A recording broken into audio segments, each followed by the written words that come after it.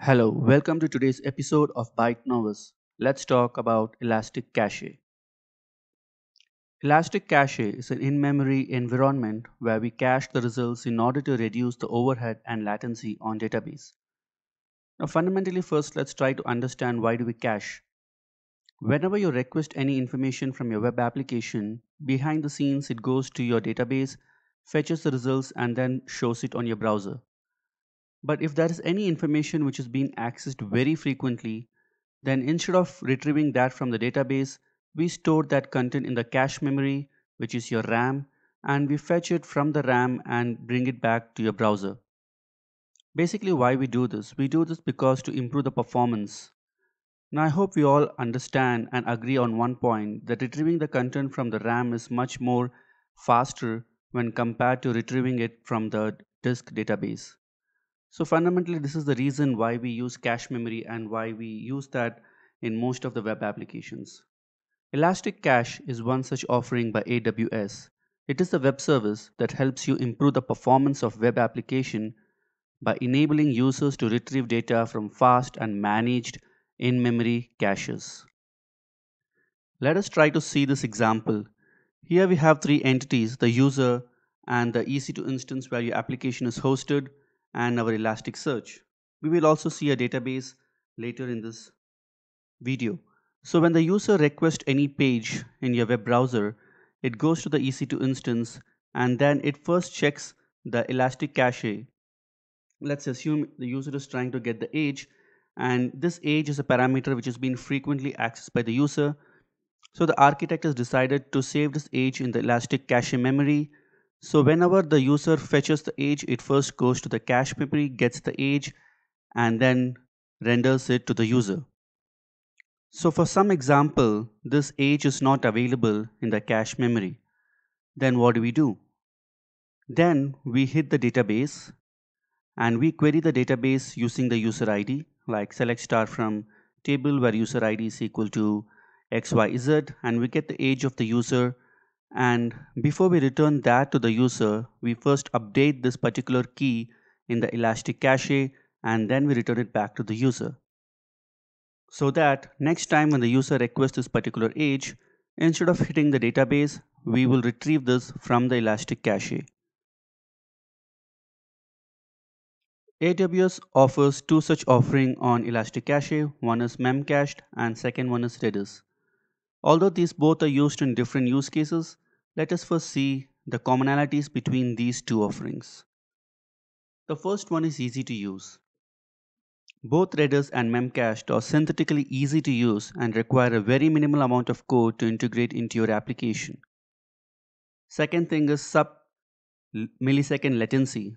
AWS offers this that both Redis and Memcached are fast and it will require less than a millisecond to get the response time or the response data back from them.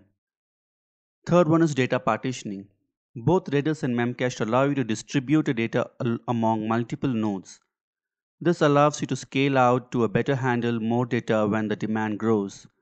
So it is very easy to scale out and scale in your nodes in case of both Redis and Memcached.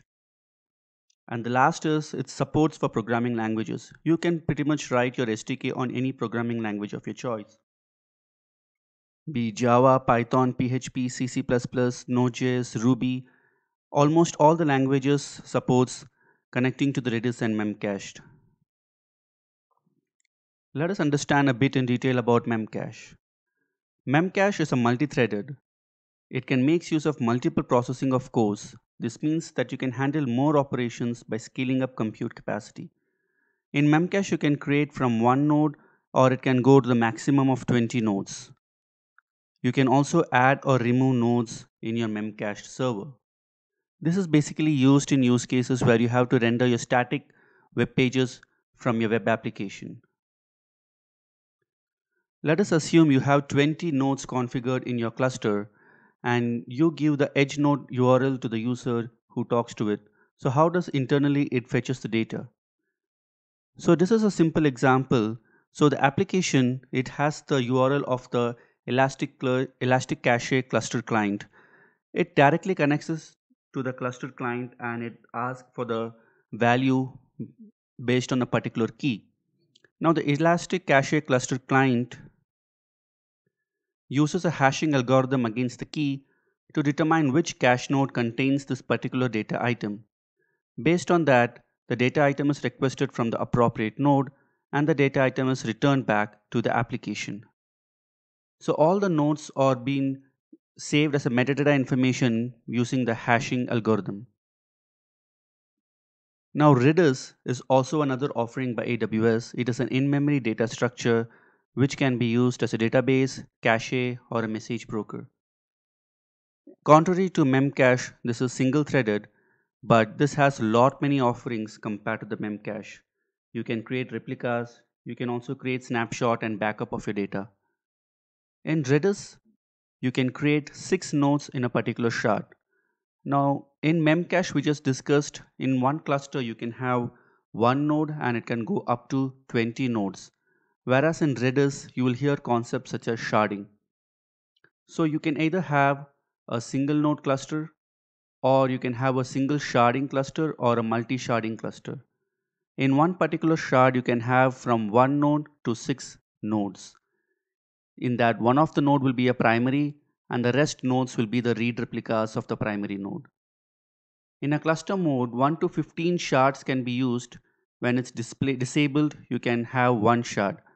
So basically it means that when you're creating a Redis, you can create on two different modes. One is the cluster mode. In cluster mode, you can go up to 15 shards. When you disable the cluster mode, you can have only one shard. The backups are stored in S3 with a retention of 0 to 35 days. This is a simple diagram to show how the cluster is. As we discussed, you can create a single node cluster or you can create a single sharding cluster. A shard can have up to six nodes. In this example, you can see a three node shard where the first node is a primary and the remaining nodes is the replica. If you enable the cluster mode while creating your Redis, then it will be created like the third diagram where you have multiple shards in the same cluster. So you can go up to 15 shards. Redis is much complex and it has a lot of offering compared to Memcache. For example, it supports advanced data structures like list, set, sorted set, hashes, hyperlogs, etc. etc. And these offerings are very much different compared to Memcache because you don't have any of these features in Memcache. This is something very specific to Redis. In Redis, you can keep your data on disk with a point-in-time snapshot. So you can also take a snapshot which can be used for archiving or to recover back the data from your Redis. In Redis, you can create multiple replicas of your primary, like you can have one primary node and you can have multiple read replicas of that particular primary node. This is not there in Memcache. Redis also supports transaction where you can do an atomic operation which is fully isolated it supports the ACID properties. Redis also supports publish subscribe messaging pattern. This is widely used in a chat rooms or a chat chat room kind of an application. Redis also support built-in commands for working with real-time geospatial data at scale. Some of the common benefits of caching, like why do we need caching? It's very obvious we have to improve the application performance or we have to reduce the database cost. Every time you hit the database, it's very costly operation.